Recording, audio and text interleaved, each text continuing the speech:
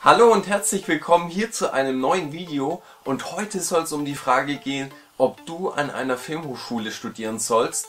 Und die Frage, die kann ich dir nicht beantworten, aber ich denke, ich kann dir auf alle Fälle ein paar Tipps und Hinweise geben, was so ein Studium angeht. Und warum bin ich jetzt gerade derjenige, der dir das sagen kann, weil ich den ganzen Prozess schon durchlaufen habe. Ich habe mich an der Filmakademie Ludwigsburg beworben und habe also von der Entscheidung an einer Filmakademie zu studieren bis hin zum letzten Prüfungsgespräch alles mitgemacht. Von daher bleibt dran, es wird spannend und wir sehen uns nach dem Intro.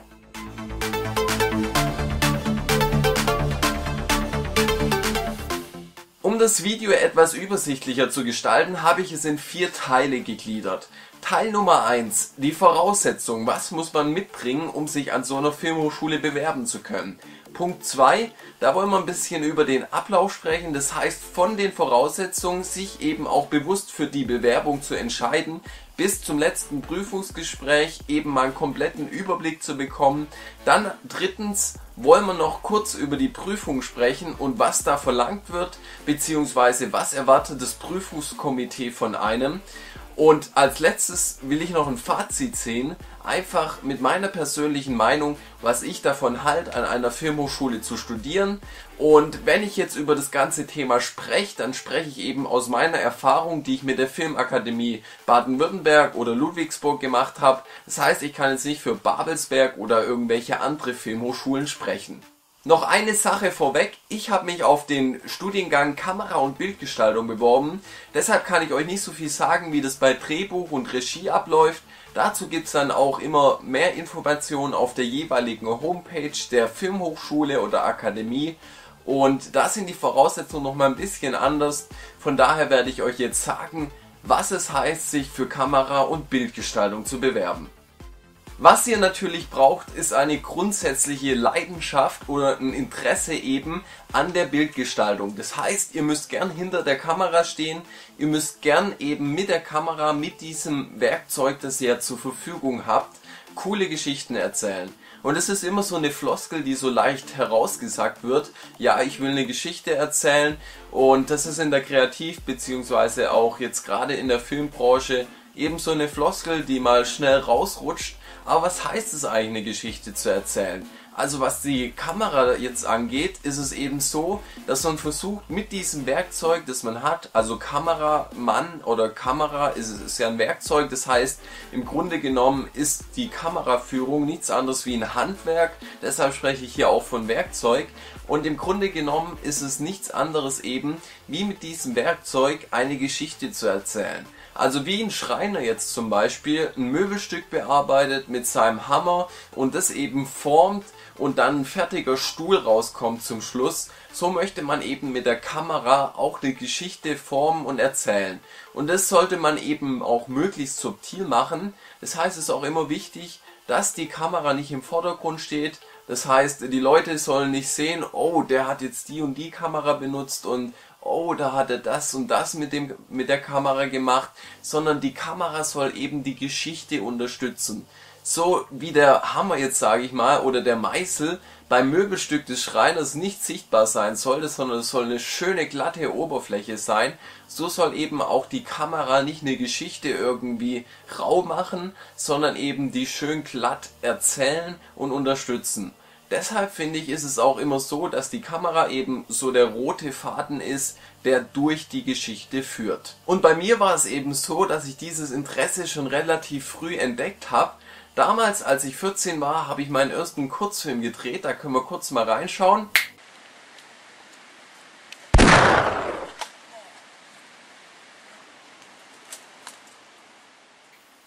So sah das damals aus. Und da war man natürlich noch jung, haben viel unsere Vorbilder gehabt, Thriller, Actionfilme, es musste immer um sowas gehen. Und das habe ich aber damals schon sehr gern gemacht einfach so Bildausschnitte festlegen, zu entscheiden, wer vor der Kamera steht und von wo und wie man eben filmt. Am Schluss dann später auch am Computer sitzen und auch das wieder zusammenzuschneiden und sehen, was man eben gefilmt hat, fand ich sehr, sehr spannend. Und das würde ich sagen, ist so die grundsätzliche Voraussetzung. Ihr müsst jetzt nicht mit 14 anfangen. Also ich kenne auch Leute, die haben erst mit 18 oder 20 entdeckt, dass sie gern hinter der Kamera stehen. Das heißt, das Alter ist eigentlich nicht so entscheidend, aber umso früher ihr natürlich anfangt, umso mehr Erfahrungen könnt ihr sammeln und eben auch euch mehr in diese Richtung, in der Richtung weiterentwickeln und dazulernen. Ein weiterer Teil der Grundvoraussetzung ist, dass man eben schon gewissermaßen Lebenserfahrung mitbringt und eine Persönlichkeit hat. Und das heißt, jemand, der jetzt frisch vom Abitur kommt, so jemand wird wahrscheinlich in Ludwigsburg abgelehnt.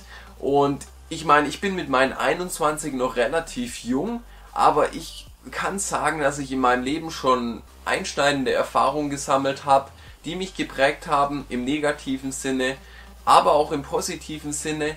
Ich war nach dem Abitur auch noch im Ausland, habe da Erfahrungen gesammelt und habe mich dann nach meinem Jahr, wo ich eben in verschiedenen Medienanstalten verbracht habe, dann erst in Ludwigsburg beworben.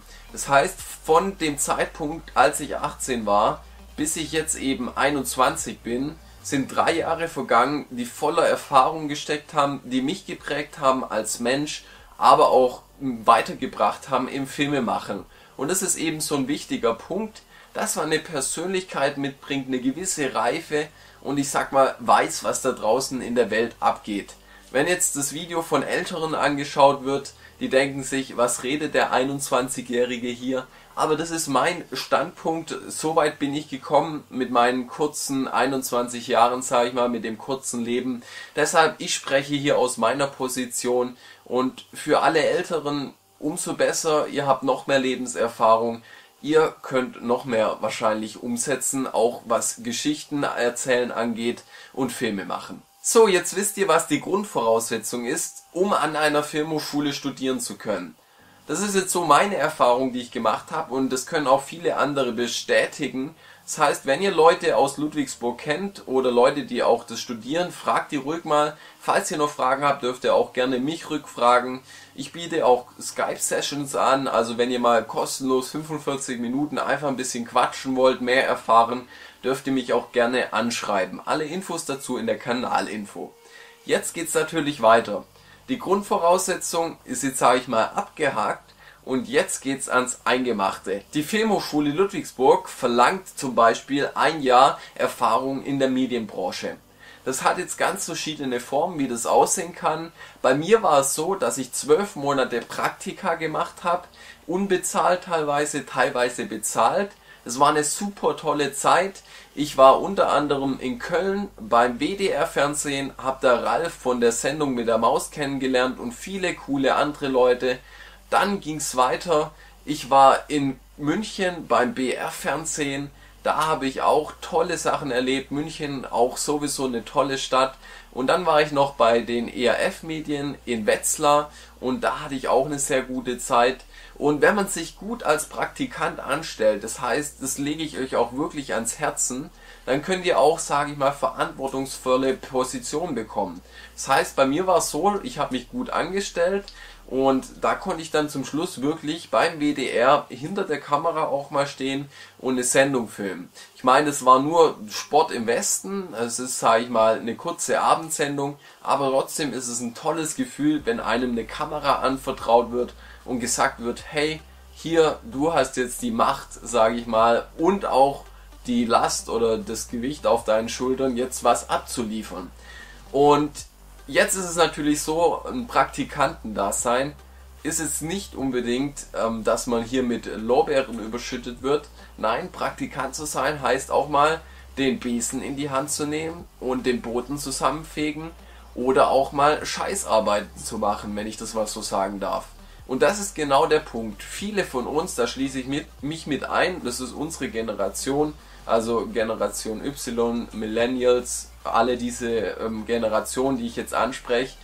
Wir müssen lernen, dass, was es heißt, ähm, hart zu arbeiten. Also wenn ich jetzt meine Eltern sehe oder meine Großeltern, die haben hart gearbeitet, die standen jeden Tag auf dem Feld oder haben was anderes gemacht. Also die haben sich körperlich kaputt gearbeitet. Und das heißt jetzt nicht, dass ihr das machen müsst, aber was wir lernen müssen, und das habe auch ich gelernt, ganz nach dem Motto Give more than you ask for, also gebe mehr als nachdem du fragst, ähm, macht es auch im Praktikum, macht es mit Herzblut und wenn es den Studioboden zusammenfegen ist oder dem Kameramann eben einen Kaffee zu bringen, zeigt euch einfach dankbar, dass ihr da seid und bietet eure Hilfe an, wo es geht. Das heißt, steht nicht mit den ähm, Händen in der Hosentasche irgendwo daneben und äh, schaut rum, druckst rum irgendwie und versucht euch im Hintergrund zu halten. Nein, wenn jemand Hilfe braucht, dann seid ihr der Erste, der da steht und dieser Person hilft. Und wenn irgendjemand was braucht und sei es ein Kaffee, dann seid ihr der Erste, der am Kaffeeautomaten steht und den Kaffee rauslässt. Und ja, mir hat es auch Überwindung gekostet. Es gab Tage, an denen habe ich das überhaupt nicht durchgezogen. Da war ich richtig scheiße drauf. Aber mein Grundsatz, der hat gestimmt. Und deshalb bin ich den Leuten auch im Gedächtnis geblieben. Und ich denke, das ist der wichtigste Punkt. Im Praktikum geht es nicht mal groß darum, irgendwie was zu lernen. Es geht darum, dass ihr die Connections knüpft. Und das heißt, ihr habt Kontakte, die euch später weiterhelfen können in der Branche, im Filmbusiness eben weiterzukommen und auch Projekte und Aufträge zu bekommen. Das heißt, wenn ihr zum Beispiel dem stellvertretenden Intendanten vom WDR kennengelernt, das war jetzt bei mir der Fall, dann habt ihr die Möglichkeit später mal anzurufen und zu sagen, hey, ich habe damals bei ihm Praktikum gemacht, wie sieht's aus, haben Sie gerade einen Job für mich oder so? Also ganz kurz zusammengefasst, aber das ist das Wichtigste. Denkt immer dran, ihr macht das Praktikum nicht unbedingt, um was zu lernen, sondern ihr macht es, um Kontakte zu knüpfen. Und es geht ganz einfach, wenn diese Situation eben kommt und ihr den Kaffee zum Beispiel für den Kameramann bringt, dann ähm, seid eben dankbar, dass ihr das machen dürft, auch wenn es vielleicht eine keine so schöne Aufgabe ist. Und wenn ihr den dann bringt, dem Kameramann, versucht ein bisschen Smalltalk zu machen, so fragt ihn einfach ein bisschen was oder ihr seht irgendwas an ihm, das euch gefällt, das ihr, sage ich mal, in Common habt, also wo ihr den gleichen Geschmack habt. Zum Beispiel er hat ein VfB Stuttgart T-Shirt an, du bist auch Stuttgart-Fan, dann frag ihn einfach mal ein bisschen was über Stuttgart. Seid einfach menschlich, zeigt, dass ihr ein Mensch seid, so wie jeder andere und dass er eben ganz nach dem Motto Give more than you ask for handelt. So, das war jetzt ziemlich viel Input, aber das ist eben die eine Variante und ich erzähle da auch gern mit Leidenschaft drüber, weil ich es einfach sau gern gemacht habe und auch eben gern euch weiterhelfen will. Und die Variante mit dem Praktikum, das war jetzt meine. Ich kenne auch andere, die haben einen Kameramann begleitet und das wurde auch als akzeptiert als eben diese zwölf Monate Praktikum. Das heißt, die haben für zwölf Monate ein Praktikum, sage ich mal in Anführungszeichen gemacht beim Kameramann, waren mit dem unterwegs. Manche haben auch eine eigene Produktionsfirma schon gehabt. Das ist, hört sich so groß an. Das heißt einfach, dass sie selbstständig waren und eben schon gewisse Aufträge und Projekte gemacht haben und das wurde teilweise auch angerechnet und hat gegolten. Das heißt, falls ihr euch unsicher seid, das habe ich auch gemacht, ruft dort einfach an in Ludwigsburg, die im Studiensekretariat, die sind super nett, fragt da einfach nach und dann können die euch sagen, ob ihr eben mit dem, was ihr vorhabt, an Praktika, an der Medienerfahrung eben aufgenommen wird, werdet oder akzeptiert werdet. Das zweite, was jetzt kommt, ihr müsst einen Film einreichen. Dieser Film hat die einzige Bedingung, er darf nicht länger sein als 10 Minuten. Das Ganze müsst ihr auf DVD einreichen, das ist der aktuelle Stand 2017. Ich weiß nicht, ob sich's bald ändert, aber das ist ein bisschen so ein veraltetes Medium. Es hat mich auch ein bisschen gestört. Ich saß, glaube ich, drei oder vier Stunden am Computer, bis ich es mal wieder so hinbekommen habe, eine DVD zu brennen. Aber bei diesem Film geht's drum, eben zu zeigen, was ihr könnt.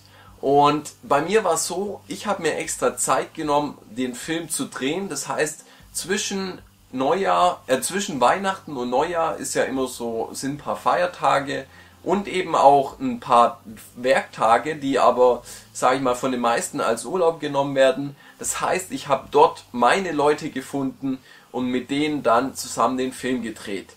Und bei so einem Filmdreh ist es so, wie ich schon vorhin erwähnt habe, kommt es ganz auf die Geschichte an. Das heißt, die in Ludwigsburg, die wollen jetzt da nicht unbedingt einen Carporn sehen oder irgendwie was anderes. Mit sowas, äh, da werdet ihr wahrscheinlich gleich an der Tür abgewiesen, da braucht ihr gar nicht reingehen. Ich meine, wenn es ein cooler Carporn ist, dann schafft es vielleicht. aber lasst es lieber. Das heißt, in Ludwigsburg geht es nicht darum, irgendwie coole Carpons zu machen oder einen Groß auf Hollywood zu machen, sondern die wollen so einen Rohdiamanten von Mensch haben, den sie noch formen können. Und das heißt, mit Formen in dem Sinn nicht irgendwie da vom Carporn kann man jemand jetzt nicht so gut dazu bringen, Geschichte zu erzählen, Licht zu setzen. Das sind ja alles Gestaltungsmittel, die man eben bei Kamera- und Bildgestaltung auch lernt. Das heißt eben mit Licht, mit verschiedenen Objektiven, mit den ganzen technischen Möglichkeiten, die man zur Verfügung hat, eben die Geschichte zu unterstützen. Das heißt, nehme ich eine lange Brennweite, nehme ich eine kurze Brennweite, mache ich das Licht low-key, mache ich es high-key, mache ich es dunkel, mache ich es hell, mache ich es draußen, mache ich es drin, mache ich es nah, mache ich es weit weg. Wie verformt sich das Gesicht bei 70 mm, 55 mm, 25 mm? Mache ich habe ich eine Vollformatkamera, Micro Four Third Sensor und die ganzen Sachen, die es so gibt. Also, es ist ein ganz, ganz großer Themenbereich und das ist alles so, sag ich mal, die ganzen technischen Mittel, die man eben hat, sollen der Geschichte dienen. Das heißt, ihr sollt nicht irgendwie geil sein auf irgendwelche Objektive und es geht auch nicht drum, eine Kamera zu haben, boah geil, ich habe die neue Sony Alpha 7S Mark X was, sondern es geht darum, eine Geschichte zu erzählen. Ich habe den ganzen Film, den ich eben für Ludwigsburg gedreht habe, auf einer Canon 5D Mark III gedreht. Und die hat nicht mal mir gehört, die habe ich vom Freund ausgeliehen. Und selber habe ich nur eine 600D. Und das sind Kameras, die funktionieren, die können auch was, sind nicht so gut vielleicht wie eine 4K, 8K oder sonst noch was Kamera, aber solange 4K noch nicht benötigt wird und ich auch das Geld noch nicht investieren kann, filme ich weiter mit meiner 600D. Das heißt, keep it simple. Punkt Nummer eins, wenn ihr den Film dreht. Haltet es einfach, was Equipment angeht und ihr müsst nicht die große fancy Kamera haben, ihr müsst auch kein Hollywood-Kino machen, das sollen, wollen die da gar nicht sehen, sondern ihr sollt zeigen, dass ihr mit einer Kamera, mit einer Bildführung, mit einer Bildgestaltung, mit all den Punkten, die ich vorhin erwähnt habe, eben eine Geschichte erzählen könnt. Und da ist es eben wichtig, dass ihr auch was rüberbringt. Es kann ein abstraktes Thema sein, ein emotionales Thema, es kann eine Dokumentation sein, Ihr könnt auch ein Showreel einreichen, habe ich auch von Leuten gehört. Das heißt, die haben aus den Filmen, die sie schon gemacht haben, mehrere Sachen zusammengeschnitten und das eben eingereicht. Da war ich mir ein bisschen unsicher, weil ich dann doch gerne einen in sich funktionierenden Film haben wollte, der die Leute eben überzeugt. Und ich kann schon mal sagen, das hat auch funktioniert an der Stelle. Und jetzt ist es natürlich so, dass ihr den Film dann dreht. Bei mir waren das drei T Drehtage. Und wen hatte ich als Schauspieler? Ich hatte Freunde als Schauspieler. Das waren alle Leute, die mein Regisseur, das ist ein Freund von mir, und ich gekannt haben. Also es hat angefangen bei mir im letzten Jahr, Oktober mit der Planung. 2016, Oktober 2016 hat es angefangen. Dann war es so, dass eben dann zwischen Weihnachten und Neujahr der Film gedreht wurde, geschnitten und im Februar ist die Abgabe. Und es ist eben so, natürlich muss man viel früher schon die Entscheidung zu treffen, sich für so eine Filmhochschule zu bewerben und da muss man es auch durchziehen, weil es ist ein langer Prozess. Ich habe das schon 2014 nach dem Abitur getroffen, da habe ich noch viel hin und her überlegt, ob das wirklich das Richtige für mich ist, aber ich habe dann gesagt, ja, ich mache das, weil ich will später im Leben nichts bereuen und deshalb habe ich mich dann auch entschieden, den Bewerbungsfilm zu drehen.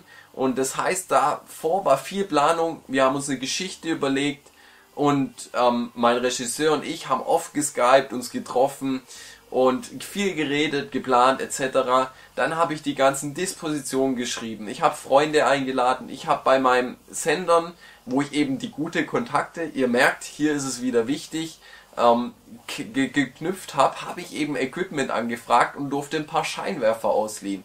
ausleihen. Und das hat mich eben weitergebracht. Und dann ging es eben ans Filmdrehen. Ich war natürlich mega aufgeregt. Ihr seht jetzt hier auch ein paar Bilder von mir, wie wir eben filmen. Also der fertige Film, ähm, den werde ich noch nicht veröffentlichen. Da gibt es noch eine interne Premiere. Aber da ging es dann eben darum, eine Geschichte zu erzählen. Auf die gehe ich jetzt nicht weiter ein. Das sprengt den Rahmen der Kamera die Möglichkeit bietet, eben eine Geschichte zu erzählen und das gut zu machen. Und wir haben dann auch bei Bekannten angefragt, also ich habe meine drei Locations, an denen ich gefilmt habe, habe ich alle von Bekannten. Das heißt, ich habe jeden gekannt und ich denke, das ist auch ganz wichtig. Man darf sich da jetzt nicht auf andere verlassen, sondern muss selber aktiv werden. Das heißt, wenn was nicht funktioniert, dann seid ihr der, der, sage ich mal, dafür verantwortlich ist. Es ist euer Film und deshalb müsst ihr auch die meiste Arbeit da reinstecken. Da wären wir auch wieder beim hart arbeiten. Wir hatten Drehtage, da haben wir zwölf Stunden gedreht. Und es ist auch später mal die Realität im Filmbusiness. Zwölf Stunden jetzt vielleicht nicht unbedingt, aber das sind zehn, elf Stunden, die ihr da oftmals am Set steht. Und da ist es einfach so, dass ihr eben hart arbeiten müsst, und auch viel selber machen. Es ist ein kleines Budget, das ihr meistens auch habt. Also ich habe maximal 1000 Euro ausgegeben für meinen Film und mehr wollte ich auch nicht ausgeben. Und deshalb schaut, dass ihr es klein haltet, werdet kreativ, schaltet den Kopf hier oben an und macht einen Film, der die Leute dort in Ludwigsburg überzeugt, dass ihr hinter der Kamera stehen dürft oder sollt und ihr eben diese subtile Kameraführung drauf habt, die eben diese Geschichte so unterstützt und gut erzählt werde da auf alle Fälle kreativ. Als der Film dann fertig gedreht war, zwischen Weihnachten und Neujahr, ging es dann eben noch an den Schnitt. Das haben wir im Januar gemacht. Im, am 15. Februar ist meistens Abgabeschluss. Schaut da aber nochmal auf die Homepage.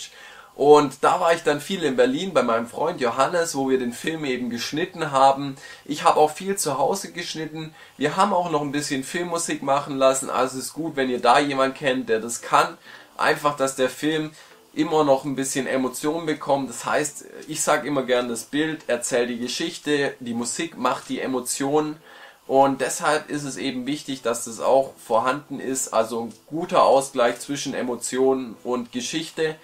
Und dann ist es so, dass ihr das Ganze eben abschließen könnt. Also mein Film, der ist jetzt neun Minuten lang gegangen. Ich habe noch eine Trailer-Version zusammen, äh, eine Trailer-Version zusammengeschnitten. Da habe ich mich aber entschieden, dass ich die nicht ähm, einsenden will, sondern eben, dass ich die lange Version von neun Minuten nehme. Da habe ich das Maximum von zehn Minuten ziemlich gut ausgereizt. Das heißt, euer Film, es kommt nicht auf die Länge an, sondern auf den Inhalt. Aber mit neun Minuten bin ich jetzt hingekommen. Dann geht's weiter. Ihr braucht ein Motivationsschreiben. Das ist jetzt der dritte von vier Sachen, die ihr für die Bewerbung braucht. Also neben der Erfahrung, dem Film, kommt jetzt als drittes das Motivationsschreiben. Und da muss einfach drinstehen, wie der Name schon sagt, was ist die Motivation, warum ihr Kamera studieren wollt. Und jetzt ist es natürlich so, das hört sich so einfach an, aber Motivationsschreiben, eine DIN A4-Seite schreibe ich kurz. Nein, sage ich euch, das ist ein Entstehungsprozess, so ein Motivationsschreiben. Und da kann man nicht einfach mal so ein bisschen was runterschreiben und dann hat sich das erledigt. Nein, ihr müsst da wirklich euch hinsetzen, euch das wirklich durch den Kopf gehen lassen und auch da nochmal drüber nachdenken, warum ihr das machen wollt. Die Warum-Fragen, die sind sehr, sehr wichtig. Das heißt, warum wollt ihr Kamera studieren? Warum wollt ihr das genau in Ludwigsburg machen? Warum nicht woanders? Warum Kamera und nicht Regie zum Beispiel? Das sind alles so Fragen, das solltet ihr euch im Vornherein überlegen und eben auch in dem Motivationsschreiben zur Geltung bringen. Bringt da auch Beispiele rein, also philosophiert da nicht irgendwie großartig rum, sondern schreibt da Beispiele, was ihr schon in eurem Leben erlebt habt und praktisch hinter der Kamera auch umgesetzt habt. Der vierte und letzte Punkt, die meisten haben den. Es ist so, ihr braucht ein Abitur oder Fachhochschulreife. Wenn ihr besonders geeignet seid, habt ihr auch die Möglichkeit mit einem Realschulabschluss das Ganze zu machen. Da müsst ihr dann aber eine Eignung durchlaufen und müsst eben besonderes Talent aufweisen. Also ich habe ja Abitur gemacht, daher war das für mich kein Problem in dem Fall. Das legt man dann einfach bei, sein Abiturzeugnis. Und dann hat man das auch. So, jetzt nehmt ihr euren Film, der auf der DVD drauf ist, steckt den in einen Umschlag, euer Motivationsschreiben dazu, euer Lebenslauf dazu, und dann noch eure Fachhochschulreife, das Zeugnis von eurem Abitur etc. und dann noch die Bestätigungen, die ihr eben gesammelt habt, während ihr die Praktika gemacht habt. Das verklebt ihr schön, schreibt Ludwigsburg drauf, schaut, dass ihr das rechtzeitig absendet, vor dem 15. Februar, dass es auch ankommt. Der Poststempel zählt und dann schickt ihr eben das Ganze ab. Und an dieser Stelle sage ich schon mal viel Erfolg, wenn ihr es bis hierhin geschafft habt dann habt ihr etwas in eurem Leben erreicht, das viele erst gar nicht angehen, weil es eben viel Arbeit ist und weil es auch ein viel Nerven kostet. Und wie es weitergeht und was die nächsten Schritte angeht, Das erfahrt ihr jetzt in Teil 2. So, das war's mit dem Video. Zum zweiten Teil geht's hier drüben links. Dann gibt's hier unten noch ein weiteres spannendes Video.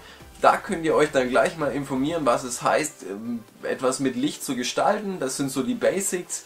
Dürft uns auch gerne oder mich kostenlos hier unten abonnieren. Und schreibt doch Kommentare, wenn ihr noch Fragen habt. Es ist immer cool mit euch zu kommunizieren. Und die Skype-Session gibt's nach wie vor. Einfach mal in die Kanalinfo schauen. Wir sehen uns beim nächsten Mal. Schaut noch auf Instagram vorbei, at smartfilmbeast. Und ich sage ciao.